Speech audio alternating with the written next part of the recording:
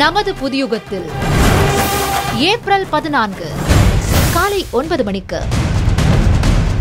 ராட்சசர்களை அழிப்பதற்கும் தீய சக்திகளை ஒழிப்பதற்கும் இந்த விகாரம் தேவை. இதுதான் இந்த விகாரி ஆண்டு. தமிழகத்திற்கு ஒரு விடிவு காலமாகவும் விகாரி வருஷம் அமைய போகிறது. ஐப்பசி கார்த்திகை அடமழைன்னு சொல்லுவோம். இந்த வருஷம் ஐப்பசி காத்துல செம மழை. தண்ணி பஞ்சமே இருக்காது நாட்டுக்கு. விகாரி வருடத்தின் சிறப்புகள் குறித்து இருபதுக்கும் மேற்பட்ட ஜோதிட வல்லுநர்கள் பங்கேற்று விவாதிக்கும் மாபெரும் ஜோதிட விவாத நிகழ்ச்சி தமிழ் புத்தாண்டு ராசி பலன்கள். அதிர்ஷ்டம் யாருக்கு?